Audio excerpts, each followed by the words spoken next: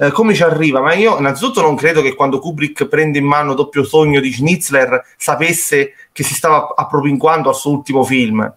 Credo proprio di no. Anzi, Doppio Sogno già lo comincia a, ad avere sott'occhio negli anni 80, niente poco di meno. Eh, come, come, come, libro molto interessante. Premetto per, per, tutti quanti lo sappiamo che da eh, gran parte dei film di, di, Kubrick, cioè tutti gli undici più importanti, sono tratti eh, da materiale letterario. Certo, 2001 no, perché La Sentinella è veramente molto lontano dal, dal, dal romanzo 2001 che nasce dopo il film, dopo che Clark lavora alla sceneggiatura. Però diciamo che Kubrick ha sempre basato il suo lavoro, diciamolo così, su materiale preesistente. Quindi è ovvio che stava lì eh, su Doppio Sogno a rimuginare già da tempo. Eh, le, il, il, film precedente di Stanley Kubrick, che è del 1987, e cioè di 12 anni prima, eh, non è stato proprio ehm, l'anno prima, insomma. Penso che, ripeto, quando Kubrick mette, riesce a ideare il suo progetto, non pensava stesse lavorando al suo ultimo film e non credo fosse assolutamente stanco. Eh, secondo me, io la penso in modo diametralmente opposto al tuo, cioè per me l'opera è coerentissima con tutta la poetica kubrickiana. Io ho avuto la fortuna di vederlo in sala nel settembre del 99, sono stato l'unico ad applaudire in sala quando l'abbiamo visto. Eh, l'ho, l'ho, difeso dopo la prima volta che l'ho visto, l'ho rivisto altre 50 volte, ogni volta ci scopro mille meraviglie.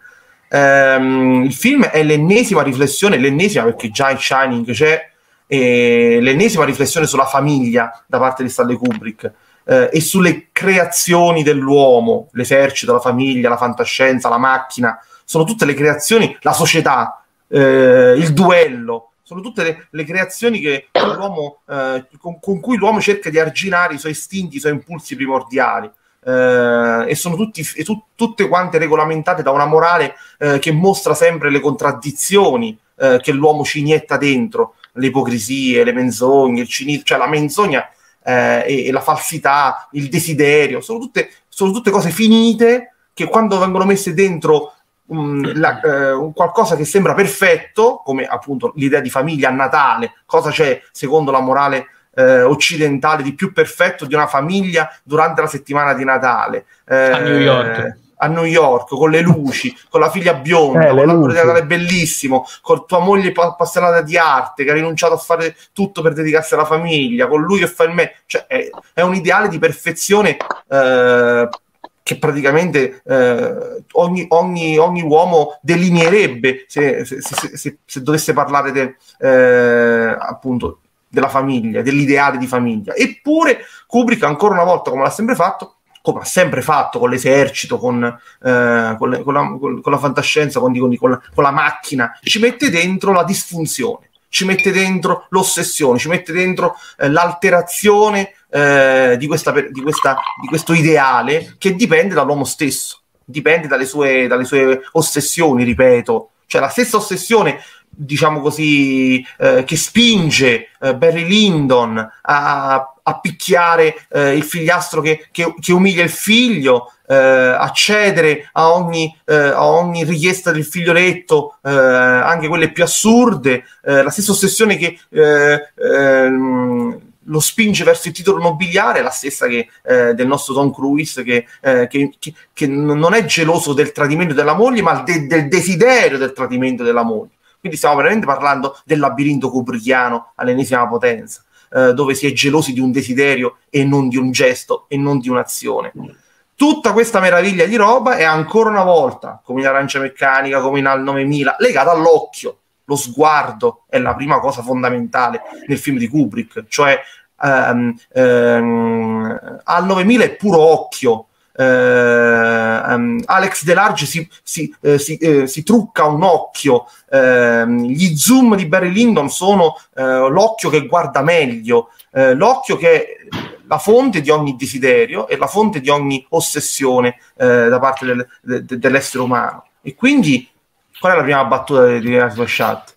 Hai visto il mio portafoglio? Cioè, quindi, se stiamo parlando di occhio, credo che sia cioè di sguardo, di vista, di quello che vediamo e che vorremmo vedere a tutti i costi, anche a costo di sfidare quello che è proibito, è un'altra grande caratteristica della, della eh, poetica eh, kubrickiana e, e, e in modo assolutamente malizioso Kubrick ci fa vedere che noi spettatori siamo come eh, il, il, Tom Cruise perché se vediamo Nicole Kidman nuda nel primo fotogramma e la vediamo fare la pipì praticamente nella scena contigua fa riferimento a Hitchcock in Psycho eh, no? sì, sì per carità, per carità.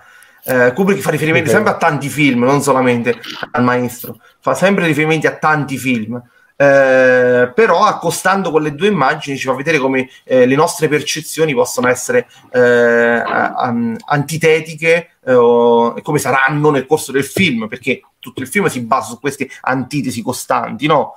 Eh, e su quello che vediamo abbiamo creduto di vedere e ci ha, e ci ha qualche, in qualche modo ingannato. La prostituta che Tom Cruise deve, deve, deve risvegliare a casa di Sidney Pollack eh, è la stessa che gli salva la vita? Abbiamo visto bene il suo seno, abbiamo visto bene le sue cosce, abbiamo visto bene il suo ventre, cioè siamo stati eh. attenti ai dettagli perché il volto non l'abbiamo visto, cioè non lo vediamo quando indossa la maschera. No, ma infatti eh, dopo, dopo sarà un tema parlare del, dell'ipersessualizzazione del, del tema che, eh, il, e quindi il, in questo caso il sesso invece che ma quello c'è sempre per carità però in altri magari eh, sta leggermente defilato eh, è leggermente defilato il problema eh, però qui invece è centrale diventa eh, l'unico modo di eh, reggere in, in, piedi la famiglia senza ehm, le sovrastrutture morali che invece la rovinano perché la pretendono perfetta eh, e quindi c'è la regressione ancora una volta come in Arancia Meccanica dove Alex Delarce viene imboccato dal ministro come in Asper Chat dove eh, i soldati si salvano e cantano Topolino Topolino eh, come al 9000 che eh, per morire canta la, il girotondo ancora una volta eh, il, il, il, progresso non esiste per Kubrick perché eh, salvare la famiglia quindi andare avanti nel rapporto significa tornare animali cioè scopare che è l'ultima parola eh, del film quindi esatto. ancora una volta eh. il progresso non esiste, ancora una volta è il regresso quello che ci porta eh, alla mm. fine. Cioè, e Kubrick ha sempre sottratto in modo molto sadico, in modo molto scaltro, in modo molto calcolato la catarsi eh, alla sua forma di, eh, di protagonismo. Um, dimenticavo Barry Lyndon anche ass- ass- eh, assistito dalla madre eh, perché è privato di una gamba eh, e non riesce a fare più niente da solo, quindi anche nel suo caso la, il sogno di ascesa sociale diventa regresso perché diventa bambino con la madre che lo deve imboccare e lui che ha perso una gamba. Vabbè, anche lì ovviamente, avendo perso la gamba, ha perso quello che nel canone classico è eh, la, eh, l'attributo principale della, della mascolinità, perché eh, ricordiamo che lui ha sedotto Marisa Berenson col suo sex appeal e Marisa Berenson lo ha desiderato sessualmente, adesso lui è senza la gamba.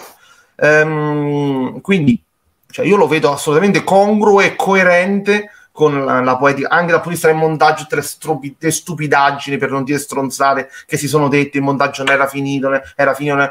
Kubrick il, il, montaggio l'aveva praticamente, se non ultimato dal punto di vista della moviola, ma ne aveva parlato così tanto con i suoi collaboratori e con i suoi produttori che mo o lo finiva lui o lo finiva un altro. No, funziona bene. Eh. Praticamente no, io non vedo ne, nessuna differenza. Il no. film è un film strepitoso, strepitoso, anche se l'avesse fatto Steven Spielberg non fa niente. La fa, cioè, non hanno preso Ciccio Pasticcio fuori da eh, eh, Buckingham Palace per fare il montaggio. Hanno chiamato Steven Spielberg, che voglio dire non è l'ultimo degli scemi, e quindi che ti devo dire? Ti devo parlare degli occhiali di, no. di Nicole Kidman. E eh, gli occhiali di Nicole Kidman, visto come ci guarda? No, no, no, no. no dopo, quindi dopo. è un film kubrickiano. Volevo... Ci sta la vista, ci sta la famiglia, ci stanno le ossessioni, ci sta la sessualità, ci sta la, la mancata catarsi, eh, ci sta il labirinto e eh, sta le Kubrick, punto, basta. Cioè, ehm, aggrapparsi a ehm, presunte eh, mancanze di questa opera per niente stanca, per niente invecchiata eh, io l'ho rivisto. No, no, infatti voglio parlare Natale. dopo del fatto è che uno dei più bei film natalizi, attuale. molto più bello di una poltrona per due. Cioè, se dovete vedere sì, il film di Natale è molto meglio Slashat. No, io questo me lo, me lo rivedo il Natale quando tutti sono a dormire, naturalmente. Ma assolutamente, non lo so se stanno dormendo. Ma io anche le famose scene di sesso in Kubrick non vogliono assolutamente trasmettere eccitazione. Cioè, no, ma sono senza valore. Eh, appunto, no? l'uomo meccanizzato anche in quel gesto, perché pretende anche in quel caso, come nel caso dei duelli in Barry Lyndon, pretende di rendere perfetto con le donne perfette, la casa perfetta, la parola d'ordine, la ritualità, qualcosa di istintivo animalesco come il sesso. E se tu pretendi di, essere, di, di trasformarlo in qualcosa di perfetto, automaticamente quella cosa non funziona più, non ti può eccitare, non funziona più quella cosa, perché l'uomo l'ha resa un rito, cioè le ha dato delle regole rigide eh, e non va bene più. Non va bene più, infatti ehm, eh, chi tenta di infrangere quella regola, cioè l'intruso come Barry Lindo, come Redmond Barry, l'intruso nella nobiltà, quindi davvero proprio, sembra davvero eh, l'ennesimo film kubrickiano, c'è poco da fare, come un intruso eh, gioca nell'esercito perché vuole la pace e vuole la guerra contemporaneamente, cioè i film di Kubrick sono sempre pieni di questi, come un intruso Kirk Douglas nell'esercito perché vorrebbe far trionfare la giustizia invece con l'opportunismo, cioè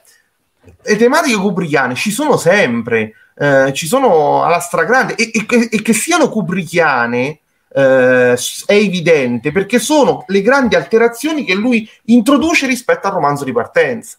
E quindi ci rendiamo conto che sono proprio ah. farina del suo sacco, anzi, sono le sue ossessioni, non sono semplicemente farina del suo sacco, sono le sue ossessioni e lui le mette a prescindere dalla trama che tratta, eh, a dimostrazione che la trama no, no, è sono... una cosa molto inutile.